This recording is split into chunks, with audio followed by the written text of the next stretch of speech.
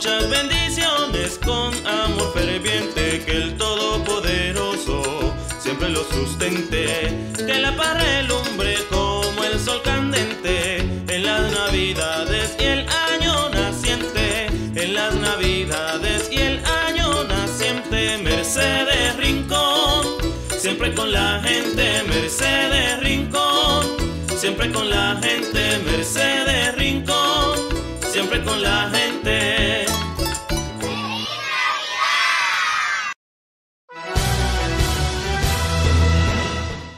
La Policía Nacional realiza controles a todas las personas venezolanas que ingresen a territorio colombiano para que porten su documentación al día o si no serán conducidos a la estación de policía y luego a Migración Colombia. Hemos incrementado a raíz del lanzamiento del Plan Navidad, inspirados en usted, la Policía Nacional articulando estas acciones con el, gobierno departamental, las alcaldías municipales, con Migración Colombia, con las fuerzas militares, estos controles en frontera. Pues eso obedece pues, a una planeación y a unos requerimientos ciudadanos toda vez que pues, se percibe eh, algunos aspectos que incomodan a algunos ciudadanos en el departamento. Lo que buscamos es que haya armonía y que realmente pues, haya cordialidad entre todos los ciudadanos, inclusive los migrantes. Las autoridades realizan control en la ciudad para que no se presente la invasión del espacio público en el sector comercio y solicitando la documentación de la mercancía. Si hay invasión del espacio público, si están vendiendo mercancías que no tienen eh, documentación reglamentaria, pues se están haciendo esas conducciones a Migración Colombia,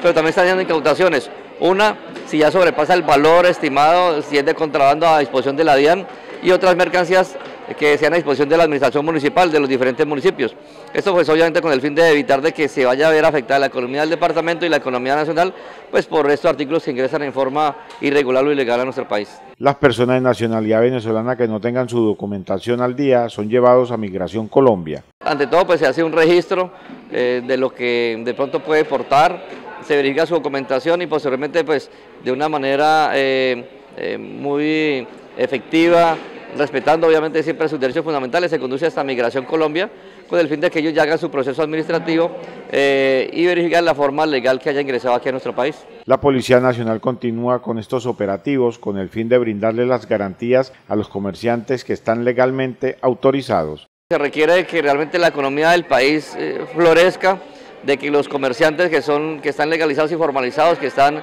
registrados en Cámara y Comercio y tienen otras eh, formas de poder tener eh, su actividad comercial en regla a nivel departamental, pues puedan efectuar esta actividad sin que se vean afectados por ese comercio ilegal e informal de la calle. Toda vez que pues, las ventas ambulantes pues, no están permitidas y eso pues obviamente afecta a la economía de los que están realmente formalizados. Estos operativos es con el fin de incautar la mercancía que no tiene su respectiva documentación.